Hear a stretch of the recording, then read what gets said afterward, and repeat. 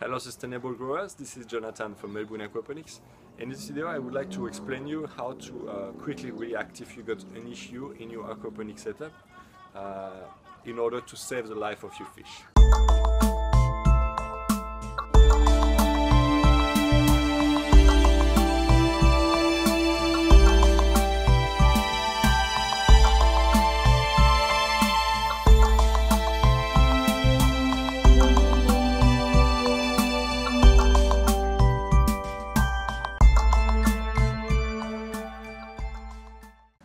I made a special video uh, a few weeks ago about how to um, detect a problem in your fish tank uh, in function of the fish behavior, right?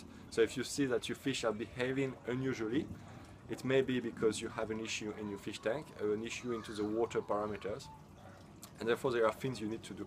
So in this video we're going to see what are those things you can do to quickly react and to avoid losing your fish.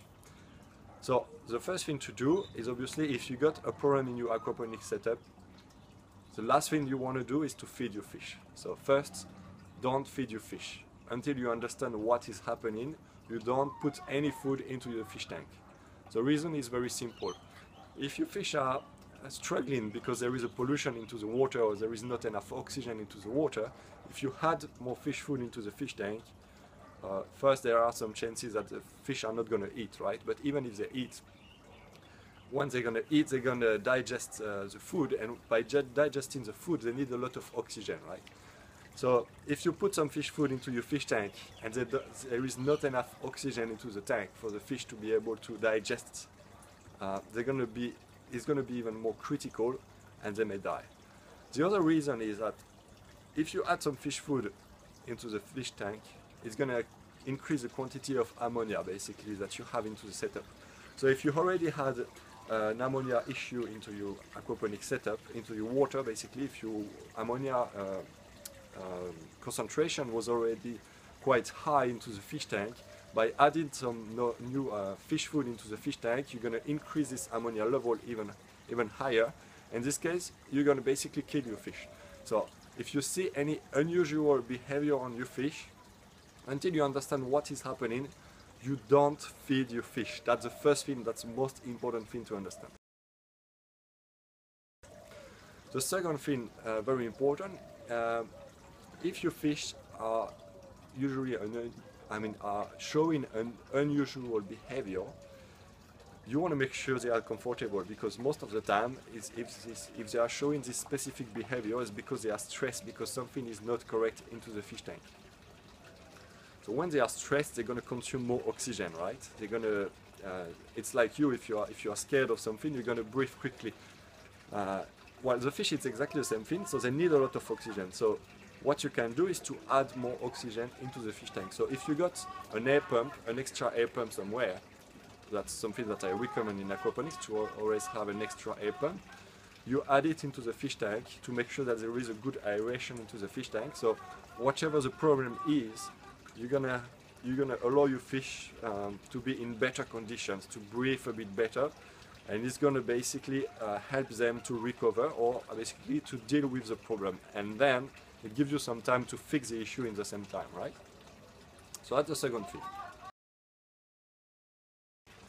The third thing is that you want to avoid to stress the fish right? If if the fish are already stressed if there is already a problem into the fish tank you don't want to have many people around the fish tank making noise, putting their hands into the water. I mean, obviously, if you have to do something, do it, right? You are not gonna. Uh, I mean, if you if you can fix the issue, fix it. You have to understand what is happening, and you have to fix the issue. But you don't want to give an extra an extra stress to your fish. Your fish are already stressed. They're already consuming a lot of oxygen. They are already struggling, so you don't want to fish them or do anything into the fish tank that is not necessary. So try to reduce whatever you are doing. If you can, cover the fish tank to avoid to have the direct sunlight into the fish tank. If you can keep them in the dark, it's gonna keep them quiet and help them to recover. So that's the third point. Renew as much water as you can. So as you understand, if your fish are showing a very strange behavior, and especially if they are piping, if they are at the surface trying to breathe the oxygen out of the water, obviously it may be because there is not enough oxygen into the water, it may be also because there is a pollution into your water. By pollution I mean uh, nitrogen pollution, so either ammonia or nitrite. If there is any of those pollution into your water, uh, you want you want to decrease this pollution, right? So at the very beginning, when your fish are showing this stress and you see that they are very close to die, you need to do something very quickly. So the best thing you can do is to siphon, to remove basically some water from the system. So you're going to use a pipe and you're going to remove some water from your fish tank, remove 50% of the volume, and you add new water into the fish tank. And this new water, if you have rainwater, is perfect. But if you don't have anything, put just water from the tap, tap water, because it's always better to have a bit of chlorine into the setup than having a, a peak of uh, nitrate or ammonia, because a peak of nitrate or ammonia is going to kill your fish directly. If it's a peak of, if it's a, a bit of chlorine, it's going to damage your bacteria population, but you, you, your total bacteria biomass is not going to die, right? You're not going to kill your total biomass uh, of bacteria just by putting some tap water. So it's maybe not the best thing, but it's definitely a quick fix, and that's something you you must do because it may save the life of your fish. Remove any dead fish. If you have a fish that die into the system, you want to remove it as soon as possible because if your fish are all struggling and they are very close to the limit where they're going to die, and if one is dying because he was a bit weaker than the others, it's going to release even more ammonia into the water and then the others are going to be affected by this ammonia. And if you leave it into the water basically they are all they are all going to die and the more the more die the more uh, they're going to pollute the water right? So uh, that's the, the fifth point. As soon as you got a fish that die you remove it from the water and you make sure that you renew some water that's the fourth point you remember? You renew some water to decrease the quantity of ammonia or of pollution that you got into your water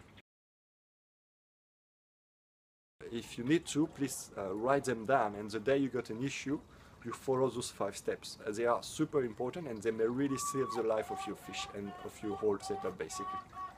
So once you uh, have uh, actioned those five points, uh, there is something else that you need to do is to understand the cause of the problem because here you do a quick fix, right? You try to basically get your fish to survive, to go through this problem, but that's a problem that shouldn't have happened never ever.